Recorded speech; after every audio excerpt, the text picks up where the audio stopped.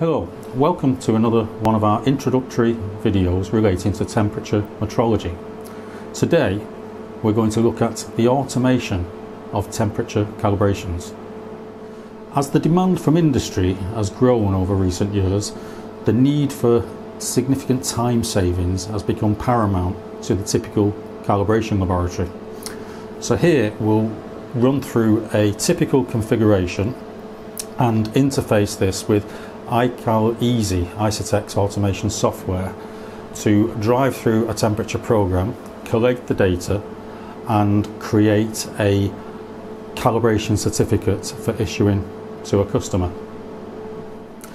So here we have a dry block calibrator, a precision thermometer, and a milliscanner that can accommodate up to eight inputs. For the inputs today, we are going to calibrate three type T thermocouples, three type N thermocouples, and a PT100. We're going to use a PT100 reference here on channel 1 and we're going to connect all this to a laptop and run the software. To connect to the laptop we would use a serial to USB converter.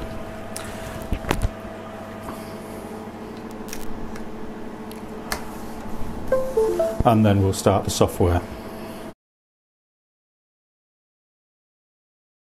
So firstly we'll click on the interface section of the iCal Easy software and you'll see it opens up into a triple palette on the left hand side showing the compatible instrumentation that can be used and on the middle pane the file system of the computer being used. We select the dry block that we're using and we're using a site model dry block from Isotech and drag and drop this onto the COM port which is connected to the converter. We then press start and this should then open the port and bring the signal in from the dry block. And there we are, uh, and it's cycling through each of the inputs. Incidentally here, uh, you can test the connection to the dry block by changing the set point. So we're currently at 19 degrees C and we can change this to 20 degrees C here within the software straight away a useful function for most engineers. Next, we select the milliK. So as before, we'll just move across to the, the image over here on the left and drag and drop that onto the next available COM port, COM port 6.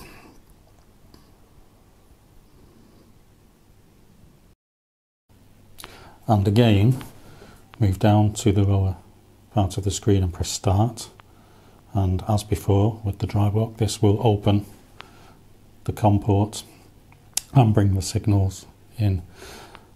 The software will also recognise that there is a milliscanner attached and bring in the positions for each of the channels as shown above here.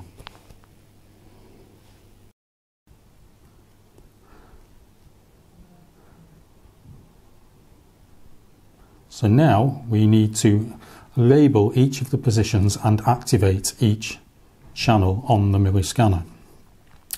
So we can label where the PRT is, the reference and the thermocouples using the settings tab. So channel 1 is a PRT on the, on the milliK itself and we mention that this would be our reference. We're going to read in degrees C. This is already logged in the milliK itself as a user probe. Then we'll label each of the other positions such as the thermocouples. We can change the output of the signal from degrees C to millivolts and repeat the method for each of the positions accordingly.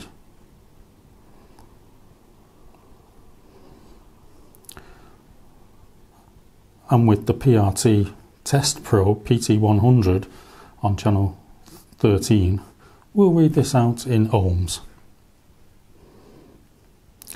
So we'll simply fill the rest of the positions in.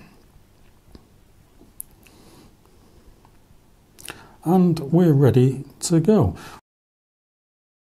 You'll notice that we've now enabled each of the channels that we'll be using for this run and disabled any that we're not using.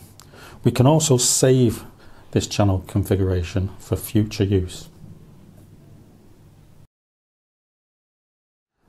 Next, we need to set up a run. But before doing so, we'll need to label in the program which is the reference position and which is the set points for the temperature program. This is simply a case of checking the appropriate position. In this case, channel 1 of the milliK is our reference thermometer and the set point is that on the dry block. We can also alter the decimal places that we want the results to be shown in.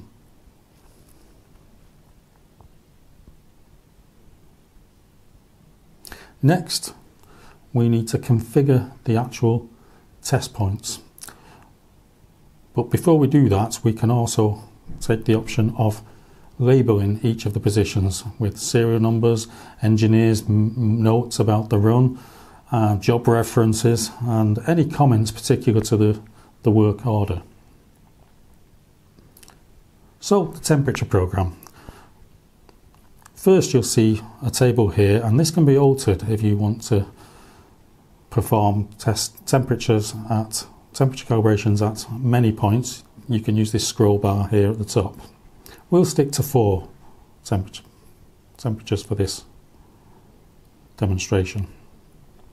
Our dry block can do negative temperatures, so we'll start at minus 20 degrees C up to 0 degrees C, 50 degrees C and 140 degrees C. We will have to remember when this has been reached and finished to park the dry block at a safe temperature so we'll bring that down to 25 and also the logging interval. We'll choose one minute. Now we can input tolerances where we can say we have stability in the dry block. So these can be adjusted to make the decision on whether to take readings as a result rather than am I reaching the correct temperature. And then once we've reached stability and the test has repeated within that tolerance 10 times, we can then decide to take up to six readings, for instance, and average these to produce the result for that temperature before proceeding to the next temperature point. Now we're ready to go. So we press start and the produce a file location for the data.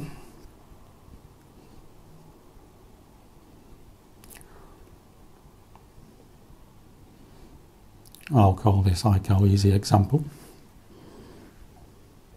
And the run has started and is commencing. The next useful window to see is the data window as it is collated if we look on the run data, we can see this in a live view and we can see the software making the decisions whether the tolerances that we set are being met. And this can be shown for each of the inputs that we have connected.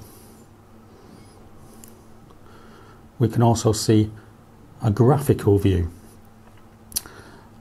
for each of the connections and we can change the colours accordingly. For instance, red for the reference.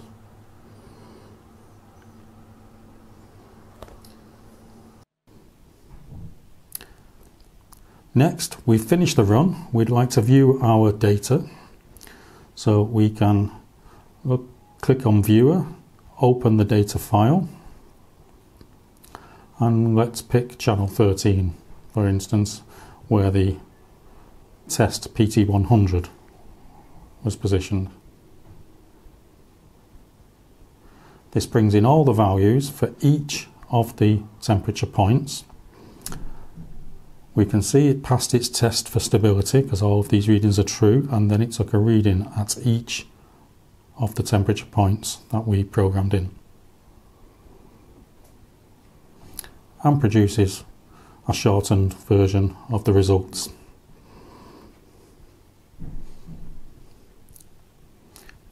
Next we need to edit this and send to a certificate builder. So we'll close the interface down and click on builder.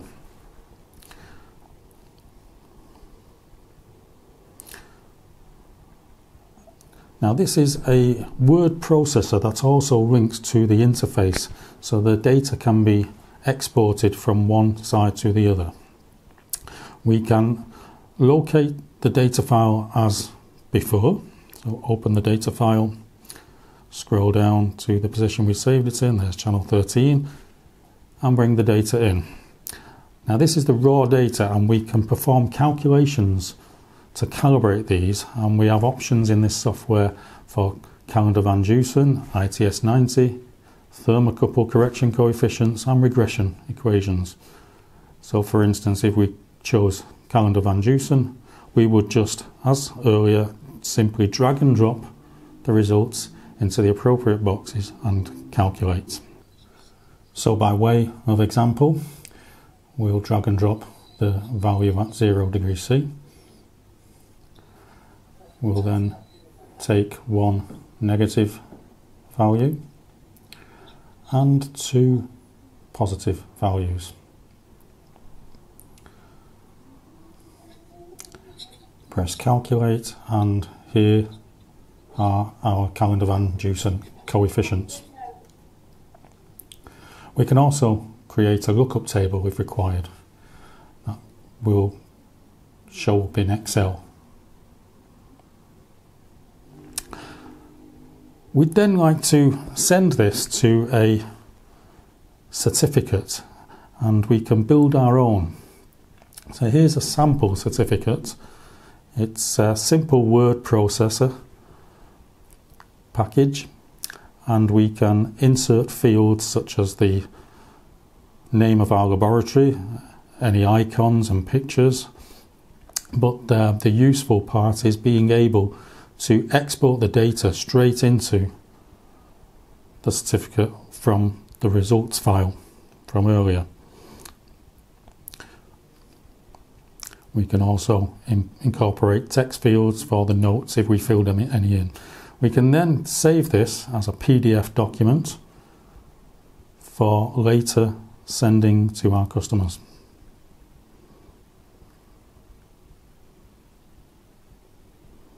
And there we have it.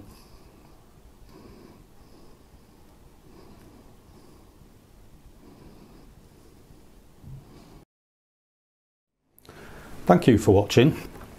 We do have an accompanying white paper for this video and we'll include a link below. Please don't forget to like and subscribe for future videos.